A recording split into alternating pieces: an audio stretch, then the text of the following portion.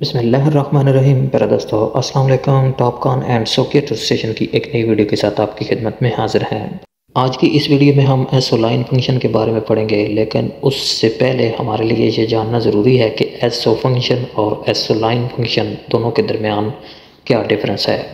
हमने अपनी पिछली वीडियो में एसओ प्रोग्राम को यूज़ करते हुए एक पॉइंट लोकेट किया था। जिससे हमें ये मालूम होता है कि हम अपनी टोट स्टेशन के ऑल अराउंड 360 डिग्री के अंदर किसी भी लेंथ और एंगल के पॉइंट को लोकेट कर सकते हैं। वीडियो को देखकर एसओ फ़ंक्शन के बारे में मज़ीद कंसेप्ट क्लियर कर लेते हैं। टोट स्टेशन को एक ही जगह पर सेट किए हुए मैंने फाइव डिफरेंट लेंथ और डिफरेंट एंगल के पॉइंट लोकेट किए हैं।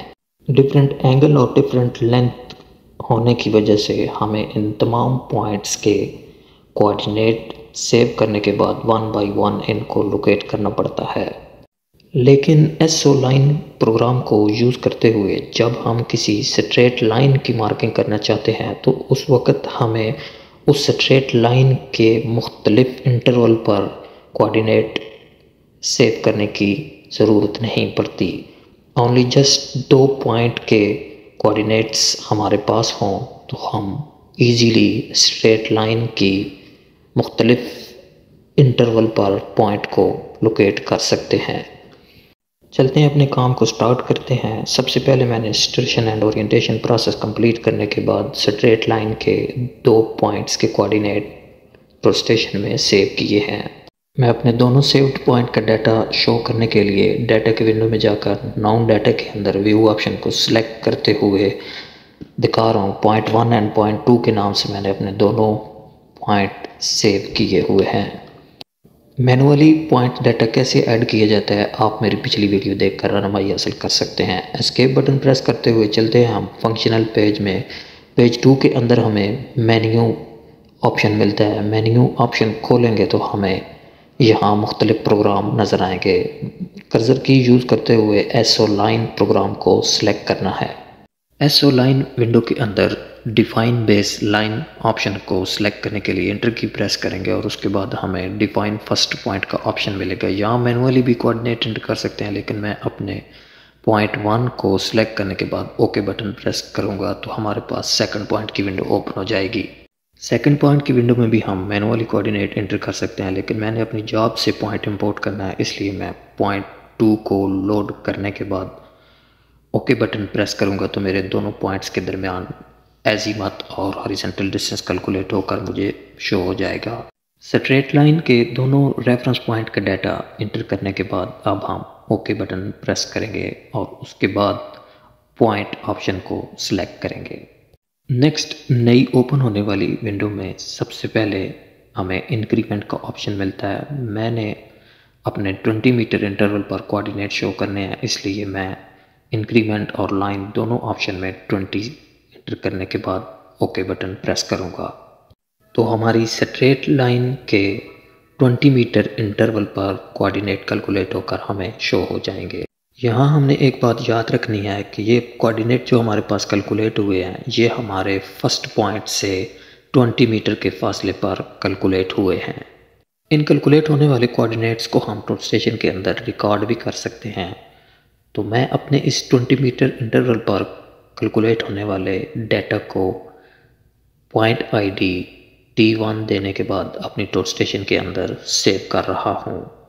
पॉइंट आईडी इंटर करने के बाद ओके बटन के लिए फोर की प्रेस करेंगे तो हमारे टी वन के नाम से पॉइंट रिकॉर्ड हो चुका है। पॉइंट रिकॉर्ड होने के बाद हमने अपने इस पॉइंट को लोकेट करने के लिए एस ओ बटन प्रेस करना है और उसके बाद ओके बटन प्रेस करना है तो हमारे पास हरिजेंटल एंगल यानी टूट स्टेशन को रोटेट करने की विंडो ओपन हो जाएगी। इस एंगल को फॉलो करते हुए हम टूट स्टेशन के एंगल को ज़ीरो ज़ीरो करके अपने पॉइंट को लोकेट कर लेंगे, जो कि हम अपनी पिछली वीडियो में पढ़ चुके हैं।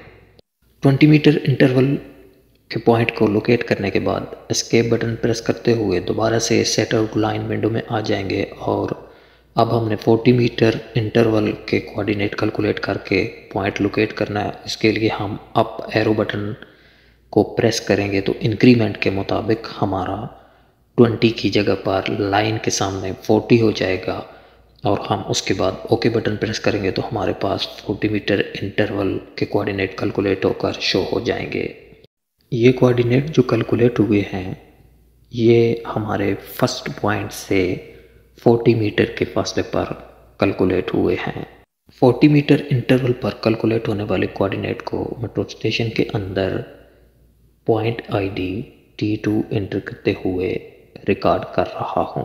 आप अगर पॉइंट्स रिकॉर्ड नहीं करना चाहते तो direct S O button press करते हुए अपने पॉइंट की हॉरिजेंटल एंगल विंडो ओपन कर लें और उसके बाद अपनी टो स्टेशन को रोटेट करते हुए ज़ीरो ज़ीरो एंगल करने के बाद अपने पॉइंट को लोकेट कर सकते हैं। 40 मीटर इंटरवल के पॉइंट को लोकेट करने के बाद दोबारा से हम स्केप बटन प्रेस करते हुए सेट आउट लाइन विंडो में आकर यहाँ अब हम अपने इंक्रीमेंट को चेंज करते हैं। पहले मैंने 20 मीटर इंक्रीमेंट रखा हुआ था, अब मैं 5 मीटर इंक्रीमेंट रखते हुए दोबारा से लाइन के सामने आकर अप एरो बटन प्रेस करूँगा तो आप देखेंगे कि 40 के बाद 45 दोबारा से प्रेस करूँगा तो 50 और फिर 55 हो जाएगा। इंक्रीमेंट से जस्ट आपकी हॉरिजेंटल लाइन का डिस्टेंस बार बार मैनुअली इंटर करना नहीं पड़ता। ओनली एरो की यूज़ करते हुए हम अपने हॉरिजेंटल डिस्टेंस को चेंज करके कैलकुलेशन कर सकते हैं।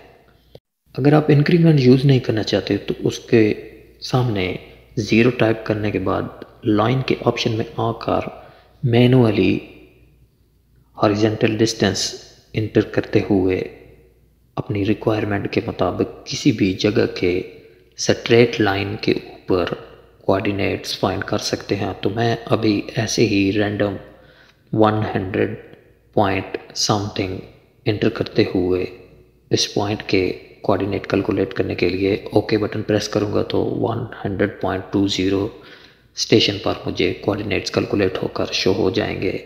उम्मीद करता हूँ एसओ लाइन फ़ंक्शन की आपको समझ आ गई होगी। नेक्स्ट वीडियो में हम एस ओ लाइन ऑफसेट के बारे में पढ़ेंगे।